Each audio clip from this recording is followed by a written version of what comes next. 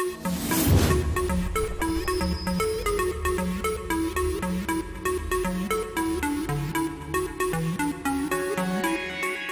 Hello दोस्तों, स्वागत है आपका हमारे राइट इन्फॉर्मर चैनल में और इस टेक्नोलॉजी के रेस में कहीं आप पीछे ना रह जाएँ, इसलिए हम आपके लिए लेके आए हैं एक नए वीडियो और इस नए वीडियो में मैं आपको बताने वाला हूँ कि किस तरह से सॉफ्टवेयर को अपडेट किया जाता है और ऑटो सेटिंग किया जाता है। और इसके क्या फ़ायदे हैं आपके मोबाइल के लिए? तो चलिए हम बताते हैं आपको स्टेप बाय स्टेप और लाइव दिखाते हैं इसको कि कैसे करना है।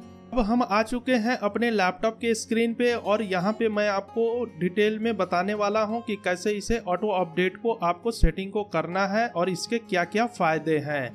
और इसके बताने से पहले मैं आपको एक इंपॉर्टेंट बात बताता हूँ दोस्तों, कभी भी जब हमारा फ़ोन प्रॉपर तरीके से काम नहीं करता है, सही ढंग से काम नहीं करता, कोई टच काम नहीं करता है तो हमें लगता है कि हमारे फ़ोन ख़राब हो चुके हैं और फिर हम अपने फ़ोन को लेके जाते हैं मोबाइल शॉप पे और वहाँ पे जो भी मिस्त्री रहता है मोबाइल शॉप वो हमारे फ़ोन को लेता है और देखता है और देखने के बाद हमें बोलता है कि आपका मोबाइल में सॉफ्टवेयर का प्रॉब्लम है, अब इसमें चार पाँच सौ रुपये लगेंगे तो ही ठीक हो सकता है, इसके अंदर सॉफ्टवेयर का प्रॉब्लम हो चुका है।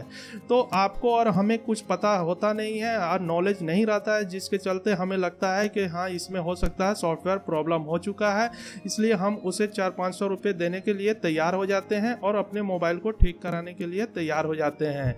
लेकिन दोस्तों, मैं आपको एक सच्चाई बता रहा हूँ कि इसका ये प्रॉब्लम नहीं होता है। एक्चुअली हमारी प्रॉब्लम होती है कि हम इस चीज़ को इग्नोर करते हैं, हम भूल जाते हैं, हम इतने बिज़ी रहते हैं कि हम नहीं ध्यान देते हैं कि हमें अपने मोबाइल के अंदर ये सॉफ्टवेयर को अपडेट भी करना होता है और इसका सॉफ्टवेयर का अपडेट आते रहता है।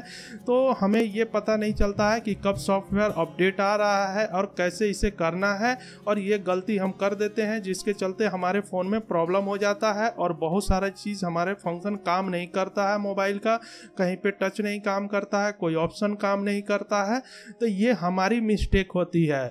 तो चलिए इसी मिस्टेक को दूर करने के लिए मैं आपको आज बताने वाला हूँ कि आप ऑटो अपडेट सेटिंग कैसे कर देंगे, जिसके चलते आपको कभी भी इसका इंतज़ार नहीं करना होगा कि कब अपडेट आ रहा है और फिर उसे अपडेट करना है। वो ऑटोमेटिकली अपडेट होते रहेगा, जैसे ही कोई नया सॉफ्टवेयर आएगा, नया वर्जन आएगा, वो ऑटोमेटिकली फ़ोन अपडेट हो जाएगा। तो चलिए हम आपको बताते हैं और दिखाते हैं इसे कैसे करना है। देखिए, सबसे पहले आपको जाना है यहाँ अपने मोबाइल के सेटिंग में। देखिए, यहाँ पे जो सेटिंग है, इसके अंदर जाना है और इसमें आप ज़रा सा नीचे की तरफ़ स्क्रॉल करेंगे तो आपको ये देखिए, मैं दिखाता हूँ। यहाँ पे एक आपको ऑप्शन मिलेगा, ये देखिए सिस्टम अपडेट का।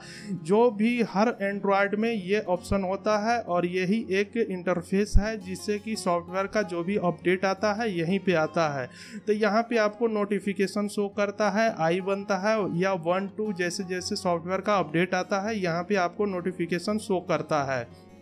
तो अब आपको यहाँ पे ध्यान तो देते नहीं हैं। हम लोग बिज़ी रहते हैं, इसलिए इसे कर नहीं पाते हैं। हम लोग बस इस्तेमाल करते हैं और इसको अपडेट नहीं करते हैं। तो चलिए मैं आपको बताता हूँ कि आपको अब क्या करना है इसे ऑटो अपडेट सेटिंग करने के लिए। तो देखिए, सबसे पहले आपको क्या करना है, यहाँ पे चलना है, इस पर क्लिक कर दीजिए, ये सिस्टम अपडेट के ऊपर। और इसके बाद यहाँ पे ऊपर की तरफ़ आपको यहाँ सेटिंग का जो ऑप्शन दिख रहा है, यहाँ पे आप क्लिक कर देंगे। और ऐसे क्लिक करने के बाद यहाँ पे देखिए देखिए आपके सामने स्मार्ट अपग्रेड का एक ऑप्शन आ गया है। बस इसको आपको ऑन करना है। अगर आप यहाँ पे ऑन कर देंगे तो जिस तरह से मेरा ऑन है, इस तरह से अगर आप ऑन कर देंगे तो फिर आपका भी यहाँ पे हो जाएगा। आपके फ़ोन के अंदर ये ऐसे डिसेबल रहता है, जैसे मैं आपको दिखा रहा हूँ तो इसको आपको जस्ट ऑन करना है। यहाँ पे जैसे ही आप ऑन करेंगे, आपकी सेटिंग हो जाएगी। अब कोई भी अपडेट मोबाइल का आएगा तो ये मोबाइल ऑटोमेटिक अपडेट कर देगा आपके अपडेट को और कुछ भी आपको नहीं करना होगा, नहीं आपको इंतज़ार करना होगा कि कब अपडेट आ रहा है कि मुझे अपडेट करना पड़े।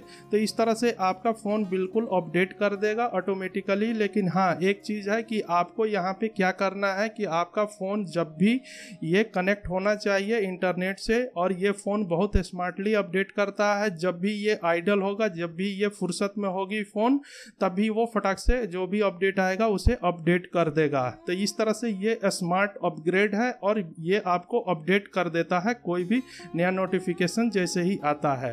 अब इसके बाद अगर आप ये जानना चाहते हैं कि आपके फ़ोन पूरी तरह से बंद हो चुका है और वो डेड हो गया है, उसमें कुछ भी काम नहीं करता है, कोई भी फ़ंक्शन नहीं आता है, वो इवन ऑन भी नहीं हो रहा है और उसका कुछ भी स्क्रीन पे नहीं दिखता है डेड हो चुका है तो उसको कैसे ठीक करना है? तो उसके लिए मैंने एक ऑलरेडी वीडियो बना रखा है कि उसको कैसे ठीक करना है। तो मैं उस वीडियो का लिंक को आपको ऊपर में आई बटन में दे रहा हूँ। आप उस वीडियो को जा के वहाँ से देख सकते हैं।